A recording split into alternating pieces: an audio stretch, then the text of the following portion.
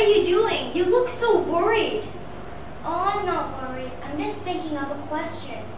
Hmm, why don't you tell me it? Maybe I can help you solve it. Okay. Miss Irene asked me to be an environmental ambassador, but I don't know what to do. It's so simple. I can teach you how to be an environmental ambassador. I was it last year. But you can start by learning about recycling. That would be great. When can we start? Let's start now. There are lots of different kinds of recycling bins like paper, plastic, metal, and glass. Really? I didn't realize that there were so many different kinds of recycling bins.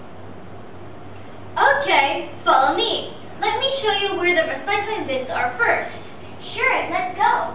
You have so much to learn. I'm gonna show you where the recycling bins are. First is the green. Green is for glass. You have to rinse all the glasses first and then put them into the recycling bins. Second is plastic. Plastic you have to put into the brown recycling bin. You have to rinse all the plastic, for example, plastic bottles. You have to rinse them and then you have to squeeze them.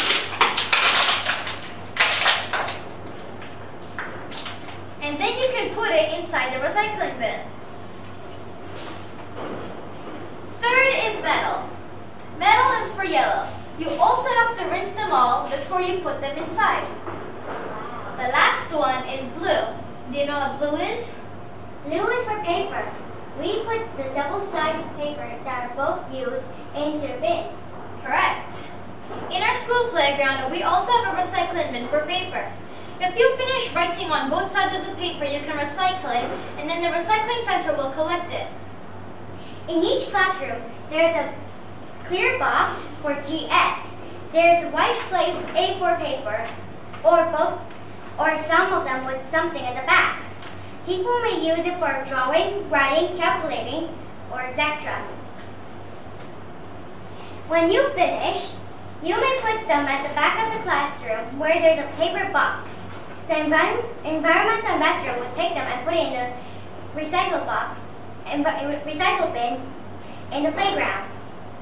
What happens when the recyclable materials are recycled and being collected? The materials will be taken to the recycling center for recycling.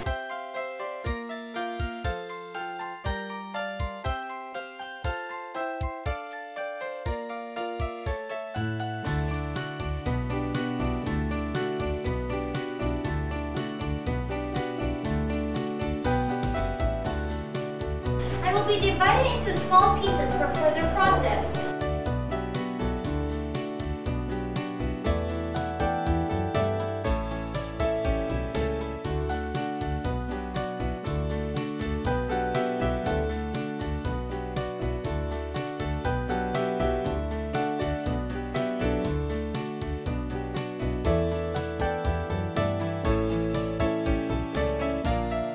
Then we'll be transferred